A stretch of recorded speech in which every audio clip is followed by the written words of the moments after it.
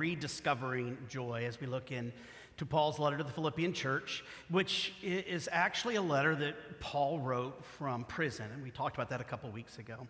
Now, here's the thing I, I kind of wanted to go through this at the beginning of the year because I believe we're in anxious and fearful times. And I feel like we've been that way, at least as a country.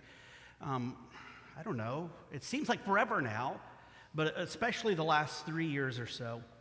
In this this letter to the Philippians, I really enjoyed, especially in seminary, because it was only four chapters long. It was easy to kind of get into, just confessing. Um, it, you know, I was asked to write a paper about a particular book in the Bible, and you know, as a seminary student, you know what I did first? I looked to see which one was the shortest. Uh, this was one of them but it's four chapters long. But in those four chapters, Paul points out or he talks about joy or rejoicing 14 different times. In fact, he commands people, the people of that church, to rejoice. Uh, commands them to, to do that daily because if they do, then they find deep, lasting joy in life, no matter what the circumstances are. And the irony is that he wrote all of this, this letter of joy, that's what we call it. In some of your Bibles, it might even say the epistle of joy, which is letter. He wrote this knowing full well that he was in prison awaiting his execution. So he knows a little something or two about how to find joy in the midst of difficult times. But just as a reminder, as we get deeper, uh, if you're in person or online, I always try to provide a study guide or devotional that goes along with it.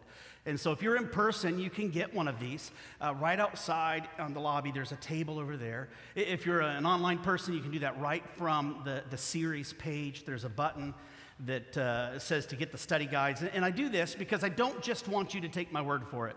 Somebody reminded me this morning that I've been saying that for a long time. Um, and the reason why is because I learned long, long ago uh, some very important words in life. And maybe you can repeat these words after me. I could be wrong. Could, could anybody say that? I could be wrong. What, what I do, my best, is to engage the stories in the Bible and the text and, and do what I can to convey those stories as best that I can, knowing that I could be wrong, knowing that 10 years from now, I may very well look at the manuscript for what I wrote and think to myself, oh, bless your heart, Ben. So I want you to engage with the scriptures on your own, to, to do that on your own or with other people. But to get us going into today's uh, message, I, I want to begin this way because um, when I was a kid, I, I, heard a bunch of different stories growing up. In fact, in school, one of the most important parts of the day when kids would actually be quiet is whenever it's like, hey, it's story time, right? And so we are a, a, people of story. And growing up, there was a group of books called the Golden Book Collection. And one of those books that I thought was funny was the book Henny Penny. Anybody hear of the, the story of Henny Penny? I have a copy of it here. Um, this is an ancient story. Actually, its origins or forms of this story date back over 2,000 years to different cultures. In China and Europe, there's different forms of this story. It has been told and retold in, in different ways. And, and essentially, the story begins like this Henny Penny one day is out in the barnyard, scratching in the barnyard, and an acorn falls and hits dear Henny Penny on the head which freaks her out, and she starts to scream. If you know what she screams, say it with me The sky is falling, the sky is falling. That's what Henny Penny did. I, I think she had a different voice than I have. But she really thinks the sky is falling, and she knows to herself, I need to rush and tell the king that the sky is falling. And on her way there, she meets other friends, right? I always laughed at the names. So she runs into her friend Cocky Locky and says, Cocky Locky, the sky is falling. And her friend freaks out with her. The sky is falling. I'm going to go tell the king. And so Cocky Locky says, Can I come with you? And she's like, Yes. And they, they go off to tell the king. And then they run into another friend, Ducky Lucky.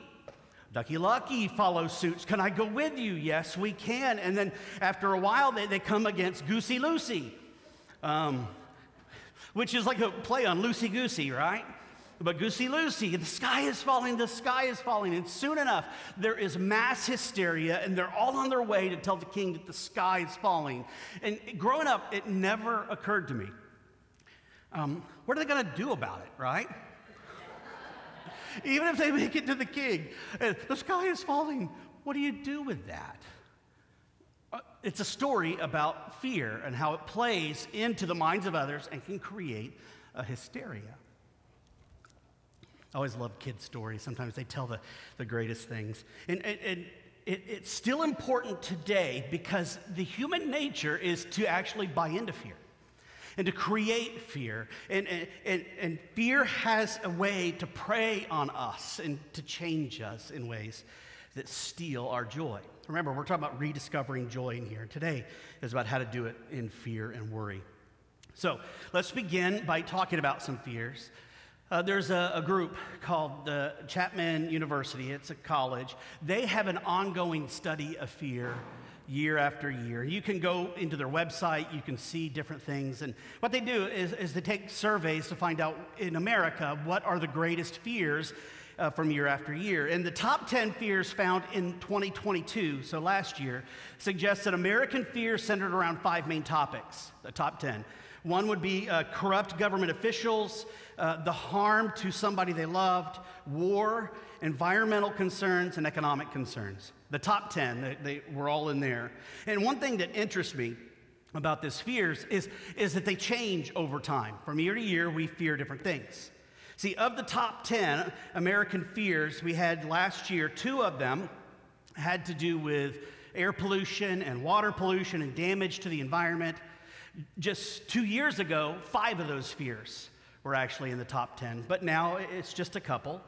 Two of the top 10 fears for last year were very personal. They were fears about somebody that we love getting sick and dying. Our number seven fear is not having enough money for the future. And in 2019, so just two years ago, that was still one of our fears, but that was number 10. I think in the state of inflation and economic downturn over the last year, that made that fear rise for many Americans. In fact, you can find out all of these different things. I haven't quite found out the top 100 of 2022, but I do have them from the year before if you'd like to know some. And so, before I tell you the, the top fear, I want you to think for yourself an, a, of a number because I, I, want to read to you what um, the fear is for this number. It, it would be a number between 11 and, let me see, 94. And not 94, by the way, because 94 in America is clowns. Yes, it actually made the list. And you know what made the list above that one? Zombies. 89. So, anybody want to share a number with me? I've got it right here. Hold on. 27. A nuclear weapons attack. I heard another one over here. Seven. Oh, well, I think I just said seven. Yeah, seven was not having enough money for the future. 45. And then we'll do one more.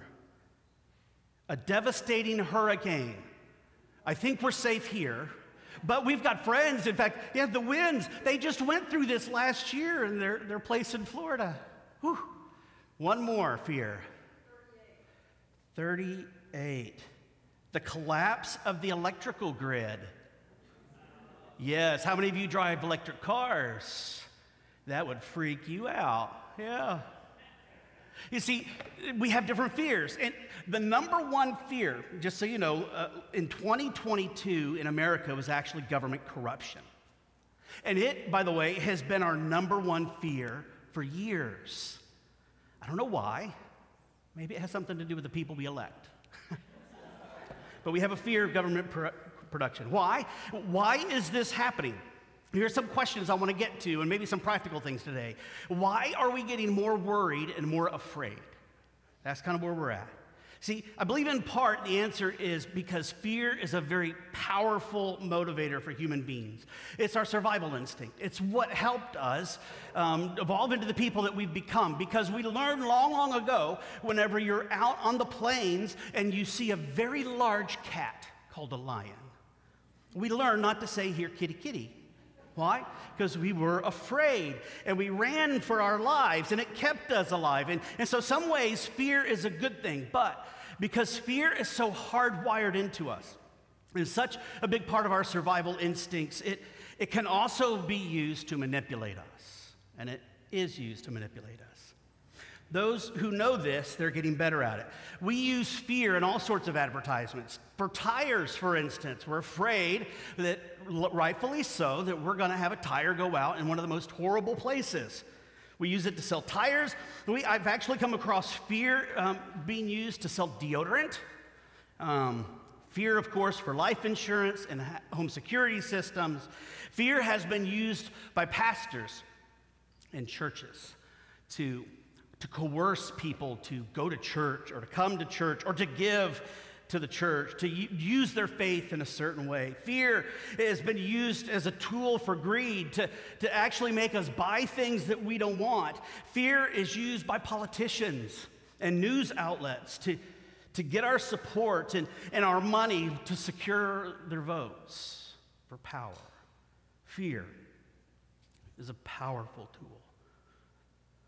There's a researcher, her name is uh, Dr. Shana Gadarian, and, and, she writes about us being afraid.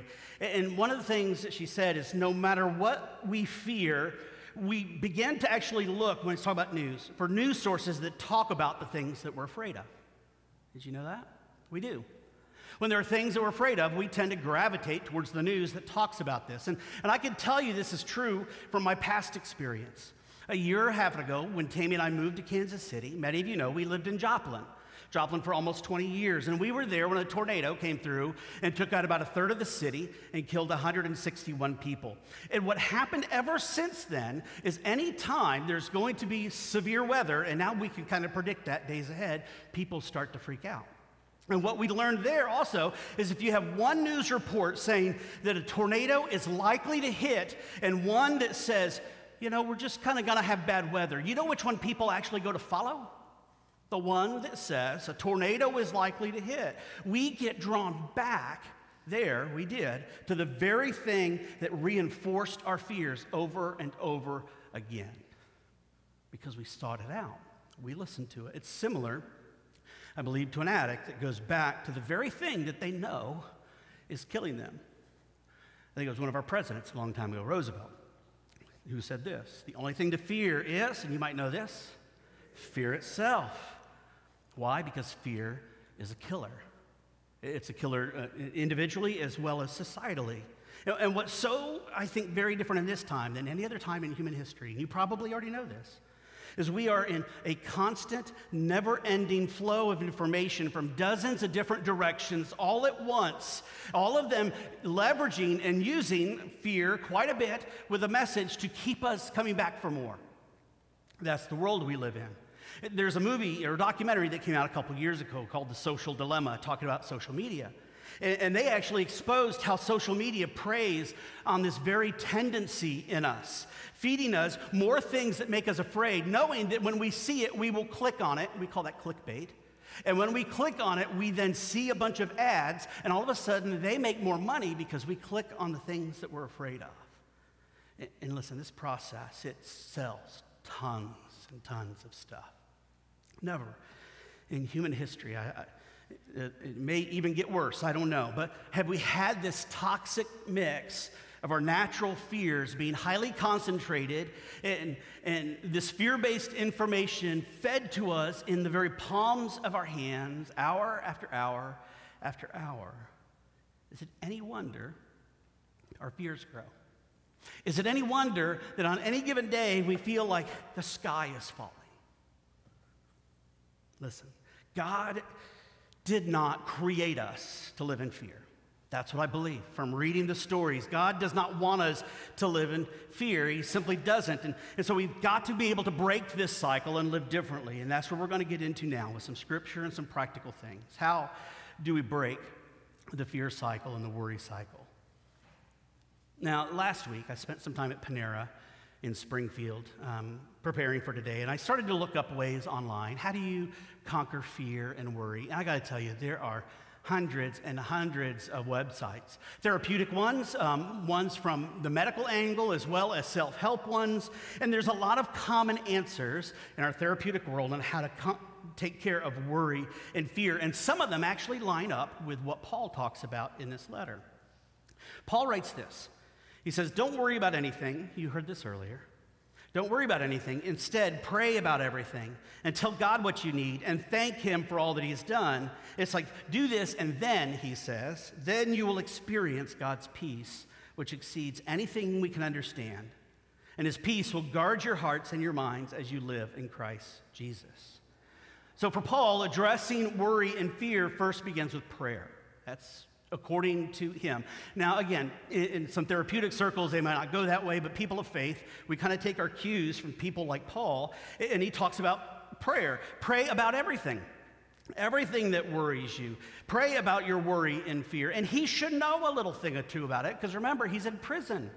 In fact, before he's in prison, he has times where he's been shipwrecked, persecuted, tortured, nearly stoned to death, ha- had a contract out on his life, left for dead, and yet he still writes. When you're worried and afraid, pray about everything. So I'll just pause real quick, you church people, and just ask you, how are you doing with that part? Praying. I don't know about you. I mean, I'm a pastor, and yet there are times I, and I get up and I get going. And it's like, oh, oh, I'm late. Oh, the dogs. Oh, this and that. And I have to pause, I have to stop myself to pray. I try to make it a habit to pray five times a day. First thing in the morning, I pray, God, thank you. And then I always say, God, save me. Not because I, I, I worry about my salvation, but it's because God saved me from my, primarily myself, because I know myself. And I pray when I eat, even if it's just to be thankful. How are you doing? Because listen, if, if you don't pray about the things that you worry about, that you're afraid of, and all you're doing is consuming more fear oriented information, it's not going to help. Stewing over something is not going to help. It's not a replacement for prayer. News outlets are not a replacement for prayer. Consuming things is not a replacement for prayer. So we pray. And, I love the way Paul kind of talks about prayer because he tells us that, that an important part of our prayers is being thankful or thanksgiving. You know, we, we all know that Thanksgiving is not just a day in November, but it's a lifestyle. And it's encouraged us to, to be thankful for all these things. And listen, don't miss this part because I believe there's power in this if you're thankful. Because I learned from a pastor a long time ago. Um, he said this to me. He says, Ben, you can't be worried and grateful at the same time. Now, I don't know if that's 100% true, but I understand where he was going. It is very difficult to constantly be worried if you're also trying to be grateful and thankful at the same time. Eventually, one of them wins out. You can't be afraid and grateful at the same time. I, I think that he was somewhat right. And, and, what Paul is saying, in the face of worry, start with prayer. And in particular, be grateful. He has a heavy emphasis on gratitude, actually, throughout his letters. And he says that when you do that, it actually leads you somewhere. That's the then part of this, the passage. He says, then you'll experience God's peace, which exceeds anything you can understand. You're worried, you're scared, you're freaked out. Pray, be thankful, and then what can happen? You experience peace, joy. You rediscover joy in your life. In fact, it's a peace that, depending on your translation, I'll just put it in 21st century, it's a peace that is mind blowing. It is a peace that's like, holy wow, where did that come from? It's a peace that exceeds anything we understand. And I believe that God is ready to give this to us. But I also believe we have to stop stewing and stop consuming and start praying and praying with thanks and gratitude. But Paul doesn't start there. He also talks about defeating worry and fear. He says, if you want to experience peace, then here's another way to do it. He says, finally, brothers and sisters, this is just a little bit further, whatever is true and whatever is noble, whatever is right and whatever is pure, whatever is lovely and whatever is admirable, if anything is excellent or praiseworthy. I always love that line in the Bible because I'm a 90s kid, an 80s kid. Anybody remember Bill and Ted's Excellent Adventure? Every time I read this, it's like, be excellent to one another.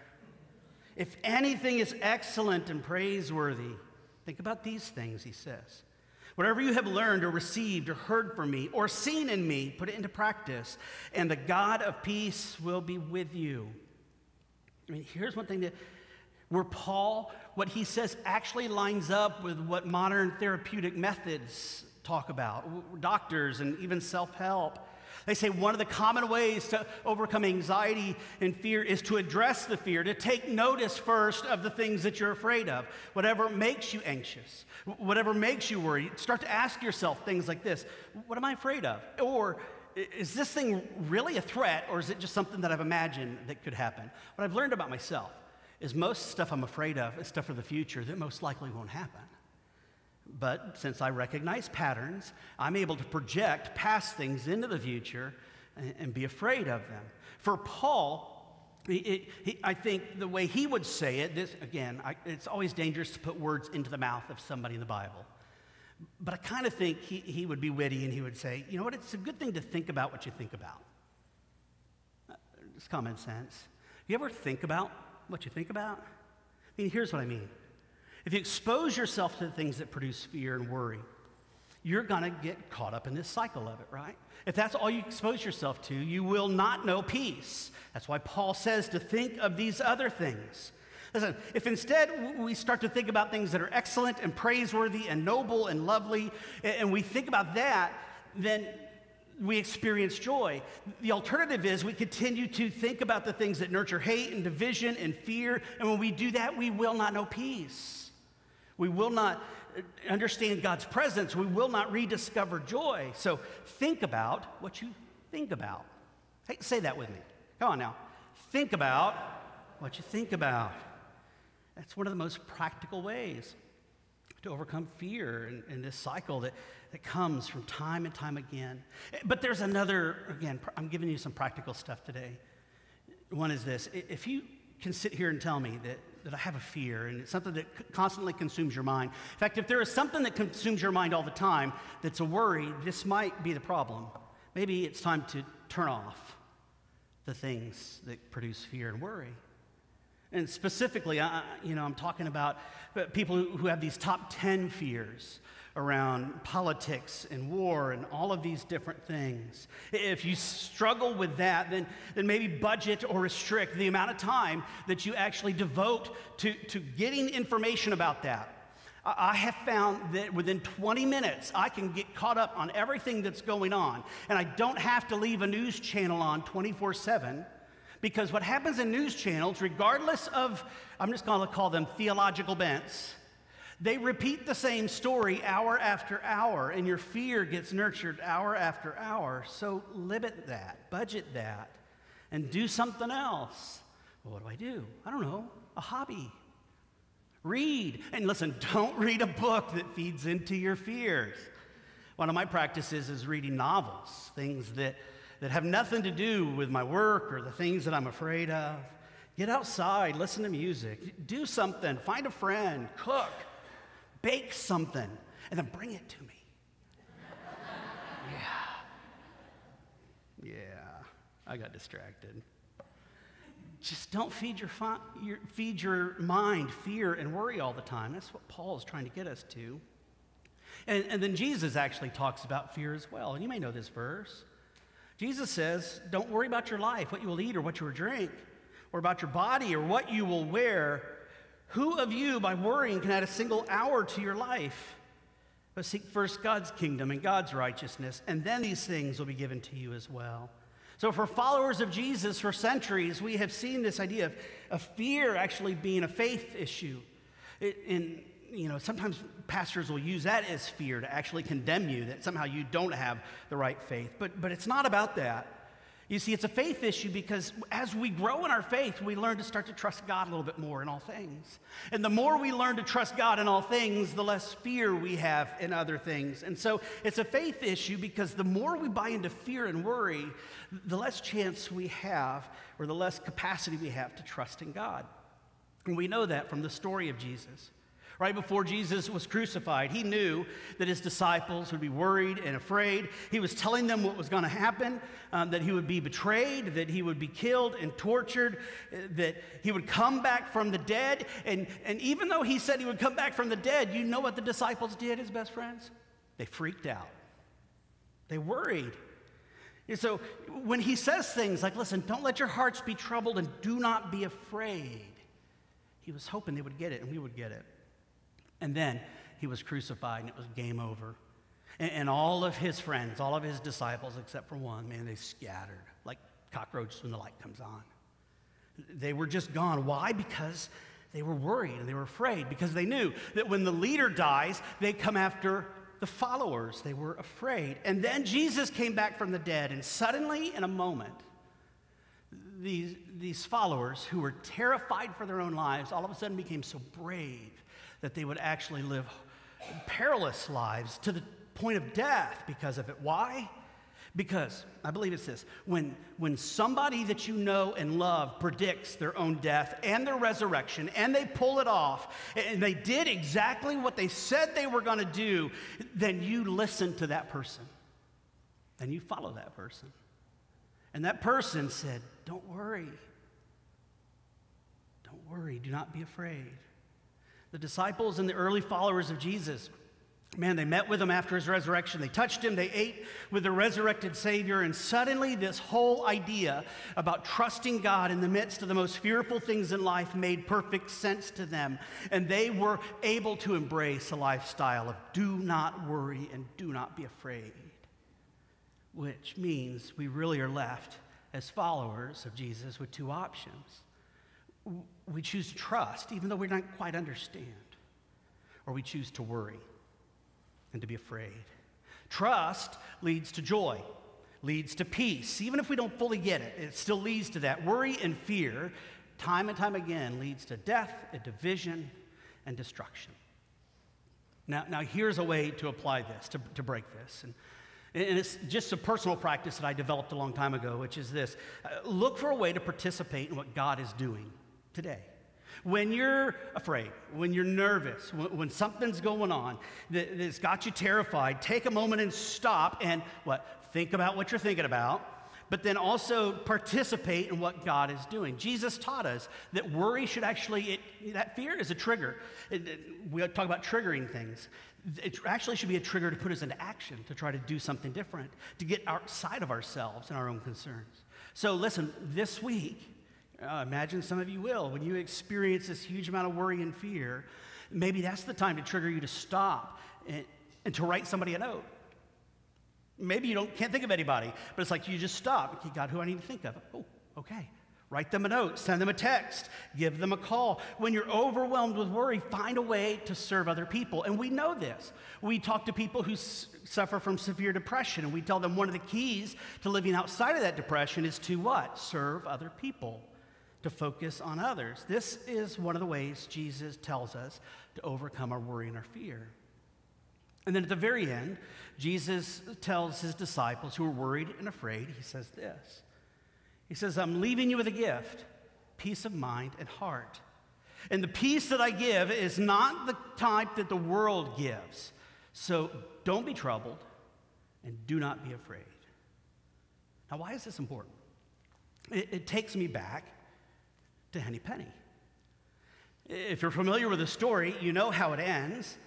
Henny Penny and Ducky Lucky and Cocky Locky and Goosey Loosey, they're all afraid. They're all freaking out. They're, they're going to run to the king and say, the, the sky is falling. And along the way, they come across Foxy Woxy.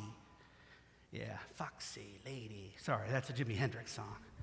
Foxy Woxy. They come across and they tell him what's going on. And, and he's like, The sky is falling. Can I go with you? And they're like, Yes, let's go tell the king. He says, Well, let's go tell the king, but I know a shortcut. And they follow him. They follow him into a tunnel, which is his den. And at the end of the story, we know that Foxy Woxy and his family and his children enjoyed a great feast. Yeah. It led them to their destruction. If we let fear overcome us, something or someone, I believe, can use that and lure us away and destroy us. We'll be lured into destroying one another or letting somebody take us. Make no mistake. Living in fear, constantly being in fear, is a killer. That's why in your scriptures it tells you over 400 different times, different ways. Don't be afraid. Don't be afraid. Don't lose heart. They tell us to be shrewd and careful and wise. They also tell us to be compassionate and gentle and kind and self sacrificing. Our scriptures are a way to help guide us in very practical ways through this life. Do not be afraid. Why? Maybe because God knows that a fear driven life leads us into division and to destruction. Or maybe because God knows that if we buy into fear, then the people who, who use fear as a way to influence will lead us and deceive us into destruction. But I'm with the Old Testament a little bit. There's a psalm, which is a song in there that says it this way. Maybe these are the words you need to hear today. The writer says, God is our refuge and our strength, always ready to help in times of trouble. So we will not fear when earthquakes quakes come and mountains crumble into the sea. Let the oceans roar and foam. Let the mountains tremble as the water searches. God's voice thunders and the earth melts. The Lord of heaven's armies is here among us. The God of Jacob is our fortress. God says, Be still and know that I am God. God is our refuge and strength. Listen carefully. The sky is not falling. No matter what news outlet you see, no matter what preacher you hear, the sky is not falling. So may you and I not give in to fear. May we not give in to anybody who is a fear dealer in this world and, and not be afraid. In the name of the Father, Son, and Holy Spirit. Amen.